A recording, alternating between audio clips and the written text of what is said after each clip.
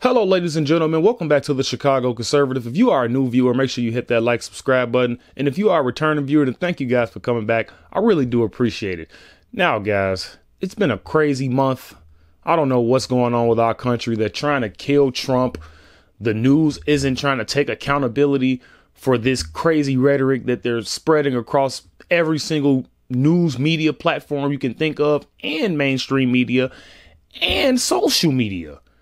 And it's like, man, we're all we are so close to the brink of civil war. It's not even close. The country has never been this divided, ladies and gentlemen. And quite frankly, we need to get it together. And I'm not even just going to say we. I'm going to really just say the left. The left needs to get it together, guys. You guys need to chill on the Nazi Germany crap because if anything, you guys are the communist. You guys are the socialist. I mean, if I'm being honest, Kamala is more like Putin than Trump is. But let me just get right into this video. Um, there was a video that I thought was very, very interesting, yet it was very, very hard to listen to. There's um a group of women, and they were basically giving their opinions on Kamala and Trump. So you know where this is leading to already, guys. And I believe this was on MSNBC, and they were basically asked, Are you voting for Kamala because you actually like her policies, which she doesn't have any? So are you just basically voting for Kamala because she's a woman? Or you're voting against Trump? Like, these people, well, you know what? Let me I have to really, really watch my words in this video, guys, because you guys already know how these women get. Um, so me personally, I mean, I'm still gonna be honest, guys. They were fairly incompetent. They didn't know what the hell they were talking about. And um, this is actually scary because you have people like these women and these Swifties and all of these people that just don't think about the country itself, not the minor problems, but the problems that majority affects Americans.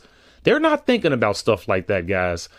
So, brace yourselves for this cringeworthy video. I'm really, like I was saying, I'm really trying to watch my words here, guys, because I don't want to offend no women. But you take a look and then, you know, just roll the clip, guys. Good God.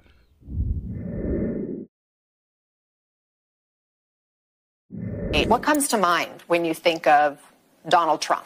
I would say unqualified. Unprepared. I would say ignorant. Highly influential, but disingenuous. Selfish and arrogant.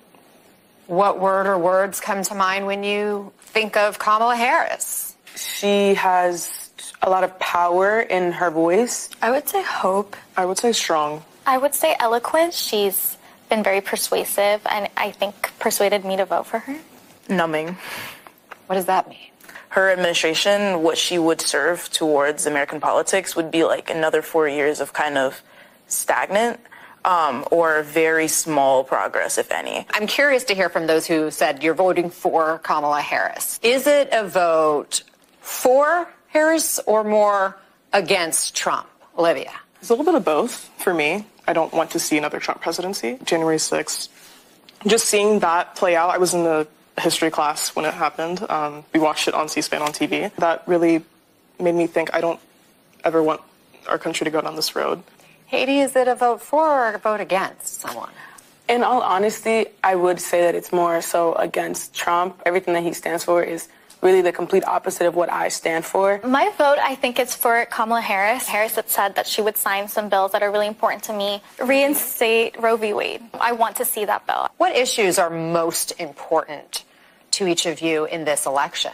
The jeopardization of education, specifically with critical race theory. I'm worried that if education is taken out of schools, history will just repeat itself. When it comes to immigration, Donald Trump has obviously shown alarming behaviors when it comes to immigrants and non-documented people. And at the end of the day, I'm a product of, of all of that. As somebody who's interested in international relations, the biggest issue for me is um, the current genocide going on in Palestine. The main thing on my mind is abortion right. This right is just so vital to, you know, being able to defend our autonomy. I'm a product of in vitro fertilization. If it weren't for IVF, then I wouldn't be here right now. So that's an issue that's very important to me as well.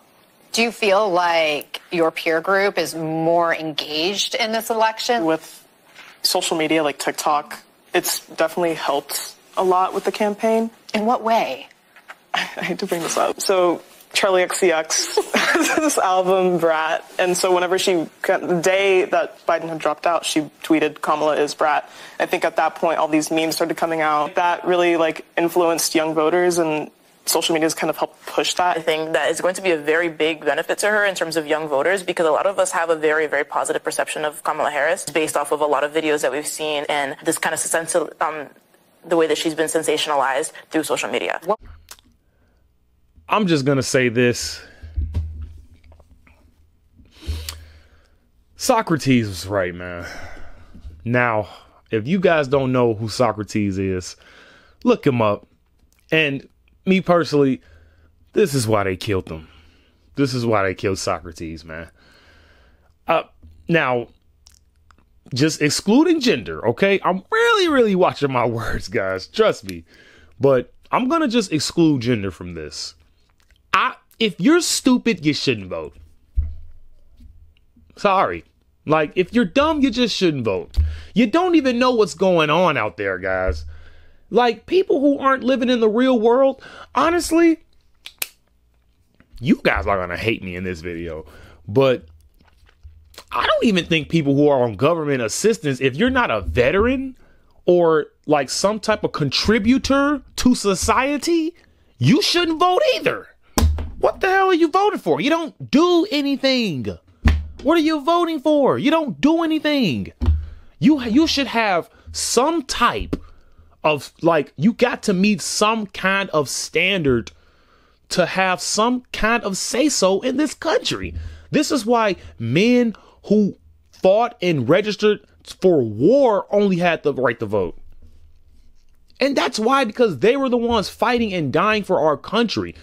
What the hell does a, you know what?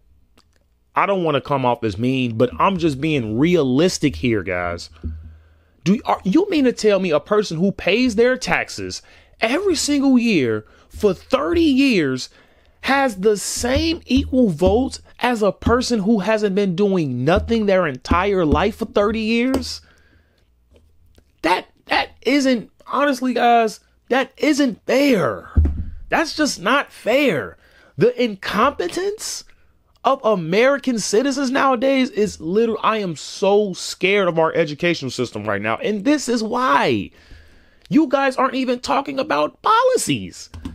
And if I'm being honest, only people care about abortions for real, for real are 304s. I, I said it. I said it. I said it. I believe there are exceptions. Grape, incest, and the life of the mother. Yes. But you know how much percentage that is when it comes to abortion? Do you know like how many times that's the case? Less than 2%. So, what do you think the excuse me, where do you think the rest of that percentage is coming from? So, less than 2% out of a 100 abortions are grape, incest, and life of the mother. What's the rest of that percentage? Let me know now. Because at this point, this is getting ridiculous. You women aren't getting really graped out there like that. Like, I don't hear stories about, I don't see people with Down syndrome walking around everywhere. So you guys aren't really doing the incest like that. And um, there are a billion people over like like billions and billions of people on Earth.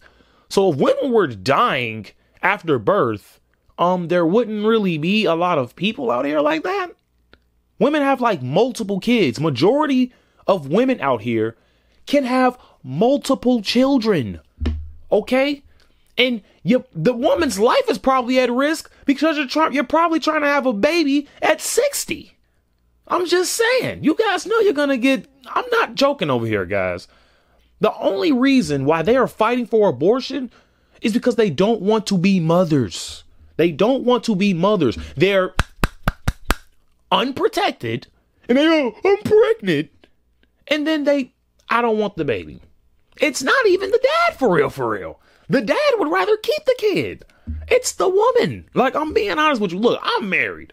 My wife, like, she works in things like this, guys. It's not the men, it is the woman. And if I could just throw a statistic out there, I'm not trying to bash the women, but you can Google this too. Matter of fact, grab your phone right now and Google it with me. Who is more likely to abuse children, men, or matter of fact, children and elderly and women? Who is more likely to abuse those three demographics, men or women? Um, it's gonna be the women. The women abuse ch- kids more. They abuse old people more. They abuse themselves more, which is other women. I mean, let's be honest, bro. Do you really think women are out here hitting men like me? Like, dude, no. Because we're gonna laugh at you. So the and, and that makes them even madder, if I'm being honest. Like, if a woman punches me and I laugh in her face, do you think she's gonna just walk away? You know these women have something to prove nowadays. She's probably gonna want to try to punch me harder. But with old people and children and you know, other women, they don't really feel like that because they feel like they have an equal ground or they have more ground because this is children and women we're talking about, but this is just how they think mentally, guys. Just being honest here, like, look, everybody's trying to save this country that's a patriot, man or a woman, okay?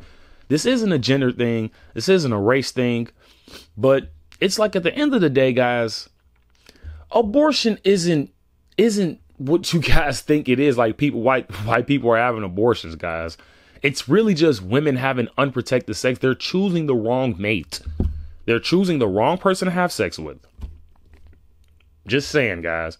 And I don't even know why Kamala Harris even have a say so in things like where you don't even have children. You don't even have kids. So it's like, what are you even talking about? You've never been around kids. You've been in like like you've you honestly was a streetwalker. So it's like you wouldn't even be a, a you would you would have been a, a bad mom. A bad mom. Like seriously.